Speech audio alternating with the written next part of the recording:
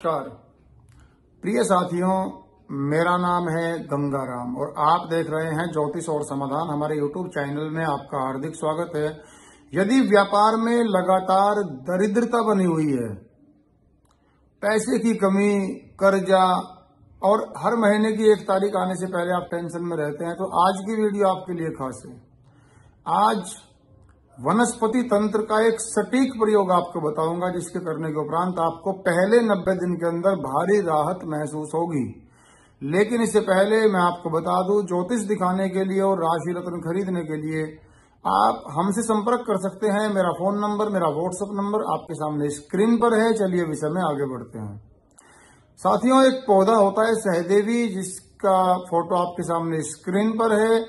सहदेवी पौधे की जड़ आप किसी भी शुभ मुहूर्त में अपने घर पे ले आए, पूजा पाठ करके अभिमंत्रित करने के उपरांत उसको या तो ताबीज बनाकर हाथ में धारण कर लें या अपने पूजा घर में परमानेंट रखे रहने दें और अपनी तिजोरी में तो उसका एक भाग ज़रूर रखें।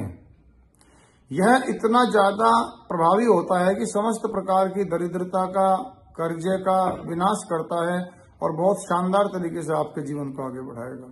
साथियों, वनस्पति तंत्र में और भी बहुत सारे प्रभावशाली उपाय हैं, जिनकी जानकारी के लिए आप हमारे चैनल को सब्सक्राइब करें, हमें फॉलो करें, और गोचर ज्योतिष जानने के लिए और राशि रत्नों से संबंधित समस्त जानकारी के लिए आप हमें संपर्क कर सकते हैं। नमस्कार।